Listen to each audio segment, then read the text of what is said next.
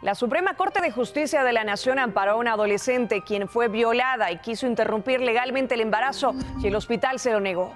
Por unanimidad de la segunda sala de la Suprema Corte de Justicia de la Nación determinó que obstaculizar el acceso al aborto por violación ataca los derechos reproductivos de las mujeres y amparó a una joven en Cuernavaca, Morelos, quien en el año 2015, cuando tenía 17 años, fue abusada y un hospital público rechazó interrumpirle legalmente el embarazo. Imagen Noticias con Ciro Gómez Leiva, lunes a viernes 10.30 pm.